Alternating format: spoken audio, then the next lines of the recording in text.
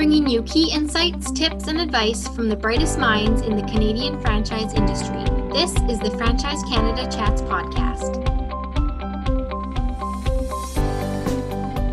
Welcome to the Franchise Canada Chats podcast, where we take you into the world of franchising. Our interviews are with franchisees, franchisors, and industry leaders who give on the pulse expert advice and share their franchising insights and experiences. I'm your host, Stephanie. This is season three, episode seven. This episode features keynote speaker and author Todd Cohen, who shares how to crush the negative stereotypes of sales in order to cultivate a team that is dedicated to the process of getting a customer to say yes. Here, Todd explains how every interaction with the customer is a selling moment, how to empower your staff to embrace their unique talents, how to redefine our culture and go beyond business recovery into business acceleration, among much more.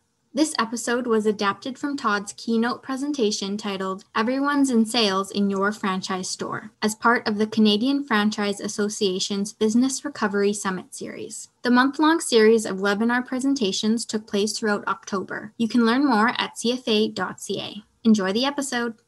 Today, I want to speak to you from my heart because my message today is something that I am so passionately committed to because I believe it's the secret for all of us. And it's really not that much of a secret. It's how we start looking forward. It's how we change the conversation. It's how we change the game. It's how we go beyond business recovery to business acceleration. You know, when I think about some of the amazing organizations that I've had the privilege to work with at the CFA, the UPS store, SprayNet, the Lunch Lady, and so many more that I've gotten to know, the amazing folks over at Driver's Seat, Steve Collette. I think that you are already practicing a lot of what I feel so strongly is what we all can do to change the conversation. So let me start here. Now is your time. This is the time to hit that reset button. And that reset button doesn't mean something has gone wrong it means we now have an enormous opportunity to change the conversation, to change up what we need to change. You know, the secret to business success isn't really so much of a secret. And I can share with you, it's not being cheaper than the next guy or faster or saying you're more efficient or getting your proposal into the hands quicker. I get all that here's what matters. As we talk about business recovery for every single franchisee and every member of your organization, the difference maker, the change, the catalyst, if you will, is the currency that your business now functions under. It's what underwrites your business. It's what makes you visible and it's what makes you stand out. It's that mojo that you put out there, that energy that becomes irresistible. The new currency is people and culture. Everything else, we have to be careful because as good as we are, we don't want to become commoditized. We all need to work on our visibility. We all need to work on our culture. And today, business recovery is underwritten by the currency that you all have right in your individual stores people and culture. So let me start with my message that many of you have already heard, and I've been so fortunate to bring to the CFA a number of times. Everyone's in sales. And now I know when I say that, it tends to scare people because they hear the word sales and they go, not me. I'm just the. And that right now, friends, is a gigantic red flag. No longer will we allow people to say, not my job. No longer will we accept people saying, sales? No, that's somebody else's job. Here's why we're all in sales. Here's why our culture begins our cultural revolution, our cultural evolution begins with everyone's in sales building a sales culture. I want you right now to think about everybody in your organization, whether you have a staff of one or a staff of a thousand, it doesn't matter. Every single person who comes to work every day and gives it what they have does something that helps a client say yes. They do something amazing every day that helps a customer achieve success. The question is, do they know it? Or are we allowing them to step back and say, I'm just the. Your businesses, your franchises, the organizations that you have put your passion, your blood, your sweat, your tears into building live and die based on how people see their contribution to your success, to their success, and to the customer's success. Think about that for a moment. It's so much more than lip service. It is so much more than checking a box and saying, yep, culture, we got that covered. Do you? If you were to go through your organization and say to everybody, you are our chief sales officer, what would their reaction be? I'm not in sales. Sales? That's not my job. You see, every day people come to work, and I believe passionately, they do not say, today is the day that I hope that I am overhead. Nobody wakes up in the morning and says, I'm looking forward to being irrelevant. Nobody truly does that. They may act it, and there's usually something else going on there that, as responsible and caring business owners, we can spend some time coaching and developing. Our currency is people and culture, and everybody in your organization does something enormously magnificent and special that helps a client be successful. Have we pointed that out enough? I guarantee you, we, there's more we can do. Every time we pull somebody aside and say, listen, what you just did, what you did a week ago, a month ago, today a customer said yes. Today a customer achieved their goals. If you take the time to build that bridge, that rock solid, people preserving, retention creating, people and currency bridge, your business has no bounds. Take that to the bank. People don't wake up in the morning and say, I am proud to be overhead. They come to work with passion and energy, and it's our job to connect that to the customer's success. That's what I call building a sales culture. That's what I call everyone's in sales. Again, it doesn't mean that people have to go door to door and knock on those doors and say, I'm here to sell you. Because you see, that's the stereotype. What I'm talking about is redefining our culture by first redefining people's contribution to the business. You know, when I look at LinkedIn and I see so many of my friends and colleagues from the CFA posting activity, there are a few examples that jump out at me as wow, these people love what they're doing. Take a look at driver's seat. Take a look at what the Baisleys have built. Take a look at the culture that leaps off the page. Take a look at the UPS store. I've had conversations with so many of you, and we talked about building a sales culture. And the first thing I notice is how people are showing up. They're showing up with passion and energy, and that's inspiring me. It's also inspiring your customers. You can't put a price tag on your culture. You can't put a price tag on creating a sales culture. By redefining what we mean by sales and saying everyone's in sales because everybody, every single person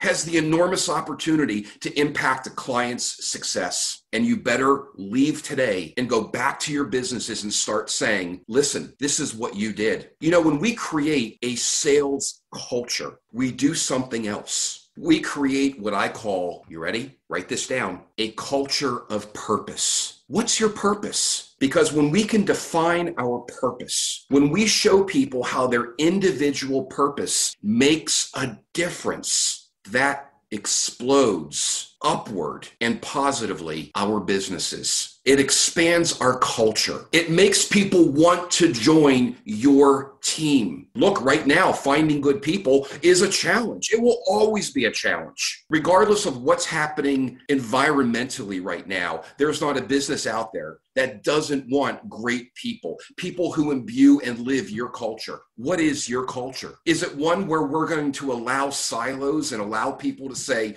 not my job, that's marketing's job, or that's David's job, or that's Luke's job. I'm just the. You see, that's not a profitable, healthy business recovering culture. That's a culture of silos. That's a culture that says we're okay with mediocrity. That's a culture where we say, not my job. Nobody intends to set that up. It unfortunately happens. And when we are in economic dire straits, for whatever reason, silos tend to go up a little bit taller. and they tend to become a little more solid. How do we bring down silos and accelerate business recovery? It's not by saying no silos because that's lip service. It's by our actions and our actions, which must scream every day what you do matters. You have purpose. Here's how you impacted our customers' success. Let me give you an example. When I think about one of my clients, the UPS store, I think about the people who walk into their stores every day their centers every day, every hour, and have a challenge. They have a problem. They have something which is inhibiting them from being successful. Every single day, with every single action, every single interaction, they solve customer challenges. They help enable somebody to be successful. When I walk into the store that I deal with here in Philadelphia,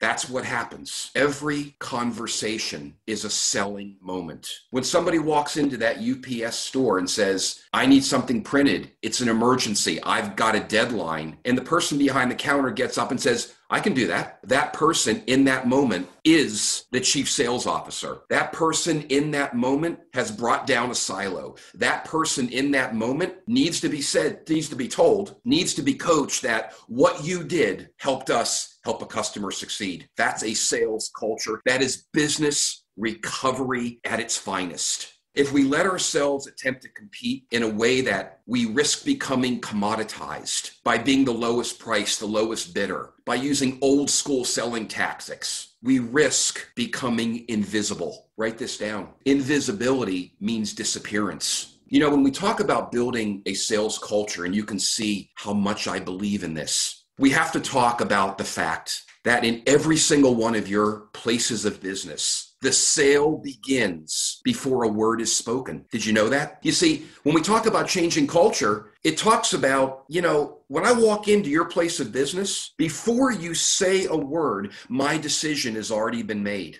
You see, the sale of you, the sale of your business, your ability to recover and accelerate and explode your profitability begins before a word is spoken. And every single person a customer interacts with in your organization has that wonderful, enormous, and awe inspiring opportunity to put another brick in the wall of building a sales culture. Folks, we have this incredible moment right now. We can look at our business and say, everything's okay. And you know what? Right now, you might be doing great. What's it going to look like tomorrow and the next day? Because you see, complacency can be our enemy. So don't get fooled by where you are now. Be thinking about tomorrow and the next day and making sure that your culture is rebooted or enhanced to one that I call a sales culture or a culture of purpose? What are you doing to help a client be successful, to help a customer achieve their goals? You see, this is all about mindset and behavior. And you know the good news doesn't cost you a dime. It doesn't cost you a dime to speak with people in a way that says what you do matters what you did, what you do, what you will do has a direct downstream impact on our customer's ability to be successful, on a customer's ability to say yes to us. Presence matters. How you show up is where the sale of you and by extension your organization begins. And in many cases, it can end if we're not aware every single day about how what we do matters. And as franchisees and franchisors and owners and staff, guess what? Nobody is exempt. Nobody gets to sit back and say, I'm just the. Because when you have somebody who exhibits that terrible, I'm just the disease, it's not a reason to take punitive action. It's a reason to coach them up and say, this is the culture we want to have. This is the culture that is about our customers and their success. And you play a role in that. And this is how. That's how we make the cultural change. That's how we either evolve or begin that revolution. There's not an organization out there today that shouldn't be thinking about these things. Now, I'm often asked, okay, Todd, you always say everyone's in sales. You always say sales is a stereotype. It is, because you see, we all sell every day, and here's how. Some of you have heard me talk about my very simple selling formula called ELSA, E L S A. ELSA is how we all sell all the time. It's how we change the culture. It's how we engage with each other. It's how we bring down those silos. And it's how we scream every day. We're different because we understand as an organization, together, we're helping our client be successful and we can articulate it. So, what does ELSA stand for? Some of you may know this. The E is for engage. Everybody engages every day, whether it's in person, and I hope we're going to see a lot more of that eventually, whether it's by text message, not so good, whether it's by email, tired of it, whether it's by Zoom, whatever it might be, we're all engaging. When we engage, our customers perceive us in a split second a certain way. That's the presence that I speak about. That's making a conscious decision. How am I going to show up? Am I going to have a smile or a frown? Is my body language going to say stay away or is it going to say approach? You're in a safe place. You've come to the right place. And guess what? I have your back. The L is for listen. Don't worry about talking. Don't worry about fixing. Don't worry about making everything right. Worry about being present and listening. Your customers are coming to you. They're panicked. They're upset. They're anxious. They're fearful and they're tired. We're zoomed out. We're tired. I need somebody to listen. If you want to sell more, you need to engage more. That isn't sales tactics, that's cultural tactics. The S is for make a suggestion. Every single one of you who is listening in knows that there's one thing that you could have, should have, would have suggested to a customer or to a coworker and didn't. Why? Were you anxious to get to the next thing? Were you not present? Were you unengaged? Or were you thinking, I don't want to feel salesy? Guess what? Get rid of it. If we're going to create a sales culture, a culture of purpose, your customers are expecting you and want you to make a suggestion. Suggest something to me that will help make me more successful. If you can do that, I'm all ears. And once you've made that suggestion, you know what the A stands for. Ask. In my second book, Stop Apologizing and Start Selling, I speak to the notion of the sales apologist. This is the person who's earned the right to ask, has developed a good relationship. The person walks into your place of business and knows they're in the right place. They're open to your suggestions, and we don't get that business. Why? Because we didn't ask. ELSA, E L S A. Engage, listen, suggest, and ask. We all sell every single day. Right now is your time to step back, take a breath. Don't stop your activity. Don't stop the good things that are happening. Now is the time to take a look at our culture, our people, the currency that underwrites our businesses, the currency that we need to continue to bank. Your people and your culture are your key to business recovery. It's not about getting cheaper. It's not about giving more away for less. It's not about cheesy sales tactics. It begins with how are you showing up? It begins with embracing what I have been saying for 12 years Every conversation is a selling moment. Every conversation is an opportunity to create an image in your customer's mind that says, I'm in the right place. These folks have my back. I feel comfortable here. I feel like I've made the right choice. Far too many organizations across all spectrums haven't figured this out yet because we're they're trying they're too busy trying to compete on things that don't resonate. What resonates is how you show up. What resonates is making sure that in COVID-19, in a time when we're all panicked, in a time when our stress levels are high, in a time that we have never seen before, I want to know that I'm in a safe spot. When I walk into my UPS store, I know I am. When I if I were to hire any one of the franchisors that I've worked with, I know I'm in the right place. From my heart to your business, now is your time to not just hit the reset button, because there's no shame in saying we have to reset. Now is the time to ask yourselves this very simple question Does everybody on my team understand their purpose? Do we take the time to show them 30 seconds, a minute, five minutes? Do we take the time to show them what you did, what you do matters? We can't afford turnover. Retention is expensive. Turnover is expensive. Our businesses need people. How do we connect? By showing people how they matter, by building a culture that says, you're in sales, you represent us. People make snap decisions based on how you show up. I'm asking you to find your cultural center. I'm asking you to take a deep breath, find that place where you can truly and authentically look around and say, they get it. They understand that what they do matters. When you can do that, friends, you will be on your way to not just business recovery, but business acceleration, business explosion, because your people and your culture will always be the engine that gets you there. Find your cultural center. Everyone's in sales, ladies and gentlemen. Build that sales culture, think about that culture of purpose, and go forth and slay the dragon. Thank you very much. Thanks for listening. For more franchising resources, including how to articles, expert advice, franchisee success stories, and franchise opportunities, visit franchisecanada.online. You can also learn more about franchising at cfa.ca and can connect with specific franchise opportunities at lookforafranchise.ca.